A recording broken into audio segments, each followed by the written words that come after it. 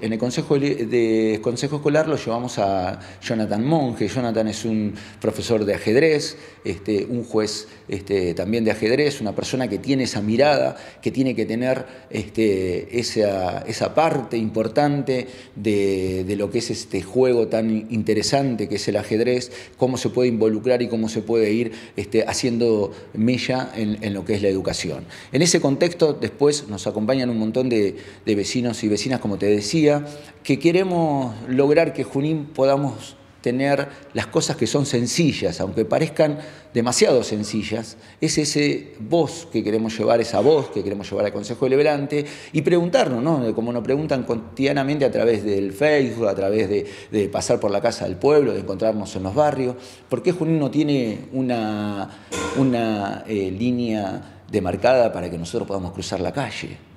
Aunque sea con pintura látex, ¿por qué no lo tiene? Esta es la gran pregunta que nos hacen.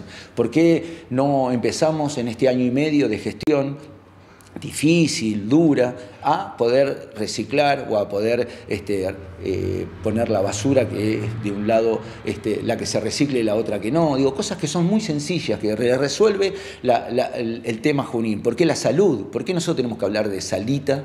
Este, cuando en realidad no es salita la salud, no es una cosa diminutiva. La salud es una atención primaria de la salud. Y nos preguntan, ¿por qué los médicos no están en la, salita? ¿Por qué Junín avanza fuertemente con la obra pública nacional y provincial, pero ¿por qué no podemos hacer nada con el dinero nuestro, con el dinero que nosotros este, pagamos de las tasas? Entonces, esa pregunta nosotros la queremos llevar al Consejo Deliberante, esa pregunta sencilla de ese vecino y vecina de la ciudad, donde hemos buscado candidatos de todos los puntos cardinales de la ciudad y de, nuestros, de nuestro partido, para que podamos estar en el Consejo Deliberante este, dándole esa voz que tanto necesita.